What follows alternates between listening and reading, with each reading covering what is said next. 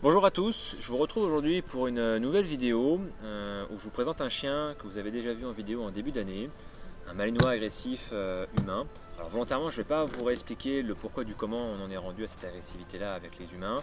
Je mettrai dans la description un lien qui vous conduira vers la vidéo en question, vous pourrez la consulter pour euh, en savoir un peu plus. La vidéo va se décomposer donc en deux parties. la première partie sera issue d'images d'archives issues de cette vidéo justement pour que vous puissiez voir d'où on est parti avec ce chien. Et la seconde partie euh, vous montrera donc des images qui ont été tournées il y a quelques semaines euh, sur le centre d'éducation canine, euh, de façon à ce que vous puissiez voir où on en est rendu aujourd'hui. On nous fait souvent remarquer sur internet, sur nos vidéos, qu'on montre toujours un avant et un après, mais jamais ce qui se passe entre les deux. Alors non pas par rapport à tout ce qu'on a pu dire, qu'on échange le chien à la fin de la vidéo, on en met un autre, ou qu'on fait courir le chien sur des kilomètres, ou qu'on le fatigue, ou qu'on le tape. Il faut être conscient d'une chose, euh, le travail qui est fait sur un chien ne se résume pas en 6 minutes de vidéo. Par exemple pour Manco, euh, pas, ça ne s'est pas résolu en 6 minutes. Il y a des travail qui, peut durer quelques heures, voire quelques jours, voire quelques semaines. Il y a partie du travail qui se fait euh, sur le centre d'éducation canine avec le maître, le chien et l'éducateur.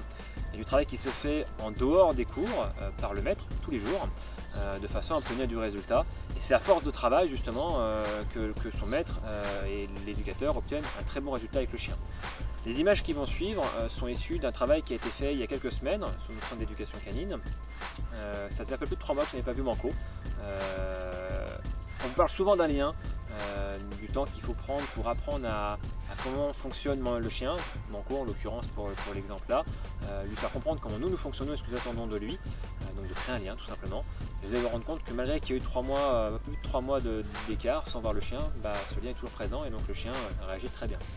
À force de travail et de patience, le chien aujourd'hui donc est prêt, euh, son maître est prêt et aujourd'hui euh, ils peuvent sortir le chien sereinement et c'est ce que vous avez découvert dans la deuxième partie de vidéo, voir où on en est rendu aujourd'hui euh, avec ce chien. Je vous souhaite à tous un bon visionnage, je vous dis à très bientôt et prenez soin de vous.